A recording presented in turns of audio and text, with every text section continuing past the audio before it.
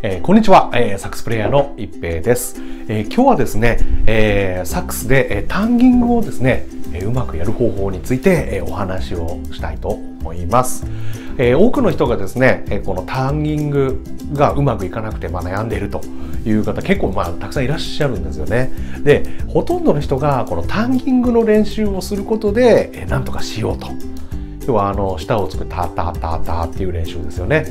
あの結構ねあの吹奏楽のにであのサックスを吹いてる人なんかはあの毎日ね欠かさずやってるやってるよなんていう方もいらっしゃるんじゃないかなと思うんですけどもそれでもタンギング結構難しいですと曲の中で出て出てくるとうまくいかないんですっていう方結構いらっしゃるんですよね。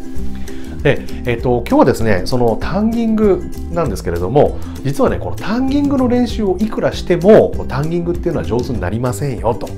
いうお話をねちょっとしたいと思って今日はね動画をちょっとお送りをしてますので是非この動画最後までご覧になってみてください。えタンギングの練習してもタンギングうまくならないんだと？っていうね、えー、なかなか聞く話じゃないんじゃないかなと思うんですけども実際、えーと、タンギングをねすごく練習していても結構タンギングで悩んだりするはずなんですよそれなんでかっていうと,、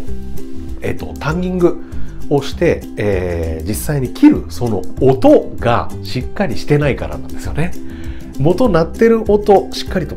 な音がまずねこうサックスの音が鳴るわけじゃないですか。で鳴ってる音を初めてこうタンギングでこう切ったりこう短くしたり、まあ、いろんなこと処理をしたりすることができるようになるんですけれどももともとの、うんと、その音自体がしっかり鳴ってない状態でいくら音を切ろうと思ってもですねもうなんか切れてるんだか切れてないんだか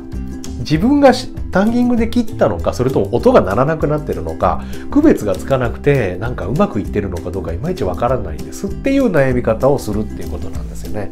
わかりますかね？えっと、タンギングでね悩んでるっていう方まあ十中八九ですね音がしっかりと鳴ってないんですよ。で音がしっかり鳴ってないためにタンギングがすごく難しいんですよね。で僕がタンギングについて教えることっていうのはですねもう本当に短い時間で終わっちゃいます。えっ、とまあ基本的なタンギングについてなんですけれども、えー、口でね実際にターターターターとかテーテーテーとかトートートーっていうふうにね実際今言ってみてください。でね、えーと、実際まあ言っていただけたとしたらですねそれを、まあ、マウスピースを加えながら実際にやるんですよと。いう実はだけのことなんですよね。で下のつき方なんかですごくこう、あの悩んでますと下の先でつくんでしょうかこうあの下の真ん中あたりでつくんでしょうかと。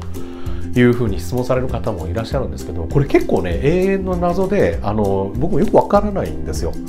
であのそれ分かんなくていいの？っていう話なんですけど実はよくてあの一つね大切な考え方があってですね、えっと、皆さんの演奏の仕方っていうのは生活上で使う動作の中に含まれてないとすごく大変になっちゃうんですよね。要は例えば下の先端でつく「あらららららら」ってなんとなく分かりますかね？こう普段ラララララなんてこう言わないじゃないですか。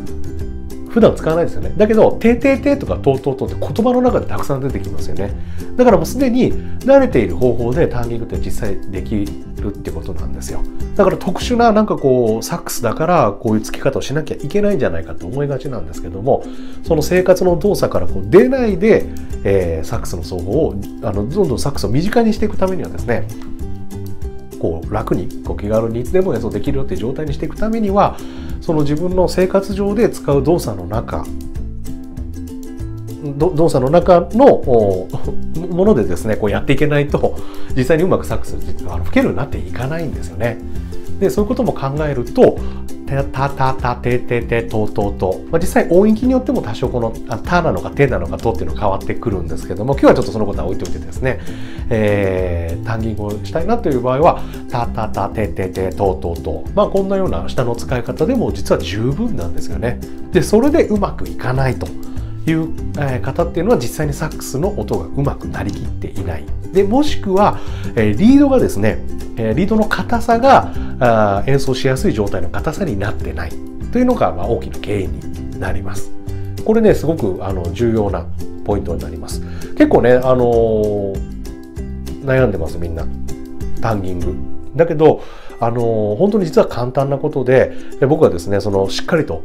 音が出る発音にこう変えてあげてその場でですよ変えてあげて吹いてみてじゃあちょっとタンギングしてみてもらっていいですか？っていうふうにタンギングを試してもらうとあすごい楽にできすごく楽にできますと。えー、いうふうにねあの言う人がほとんどなんですよね。だから、えっと、タンギングにもしあなたが悩んでいるのであればまずねあのちゃんと発音できる。つまりよくしっかりと音が鳴る吹き方で吹いているのかどうかっていうこととリードの硬さがちゃんと自分自身に合った硬さになっているのかどうか。実際に演奏しやすい硬さになっているのかどうか。もちろん硬すぎても薄すぎてもタンギングはねやっぱうまくいきません。タンギングうまくいくっていうのはやっぱり音色が潰れないでいい音でね、えー、うまく綺麗にこう切れてくれるというのも一つ大切になってくると思いますので ぜひねあのそういったところを見直して見ていただくのがいいんじゃないかなというふうに思います。はい。というわけでね、えっと、今日、えっと、そういった基礎的な内容、要は、あの、タンギングもですね、楽にできるようになるための基礎奏法についてですね、僕がまとめた PDF ファイルをですね、この動画の下の説明欄のところに、えまあ、のダウンロードのリンクが貼ってあります。で、そのリンクからアクセスして、え、いただくとですね、え、ダウンロードページに飛びますので、ぜひね、え、そちらからそのタンギングも実際楽になる、え、基礎奏法についてですね、書いた僕の PDF ファイルを、目を通していただいて、ぜひね、え、奏法に取り入れて実践してみていただけるといいんじゃないかなというふうに思います。で実際ね、あの音がしっかりなるなるようになる方法と、えー、リードの悩みね、ちょうどいいリードを選ぶ、まあ、方法についてもレクチャーをしていますので、ぜひね、えー、手に入れてご覧になってみていただきたいなというふうに思います。えー、なのでね、ぜひタンギングで悩んでいる方、タンギングの練習だけに終始しないで、もちろんタンギングの練習をすることで、あの、どんどん慣れていくっていうことがあるので、あの、タンギングの練習が全く意味がないとは言わないんですけれども、ただね、あの、実際のところタンギングがマスターできるかっていうと、あの、それはやっぱりちょっと難しいんですよね、それだけではね。タンギングの下の付き方だけを練習するだけは難しいので、ぜひね、基礎的な奏法を見直してみていただきたいなというふうに思いますので、よろしくお願いいたします。えー、というわけで今日はあタンギングのですねうまくやる方法について、えー、お話をしました。えー、またですね、えー、こちらあ、こういった動画でね、配信をしていきたいと思ってますので、ぜひ、えー、チャンネル登録もよろしくお願いいたします。えいいね、悪いね、えコメントなどもぜひ、あのとても喜びますので、ぜひよろしくお願いいたします。ではまた、え次回動画でお会いしましょう。えサックスプレイヤーの一平でした。バイバイ。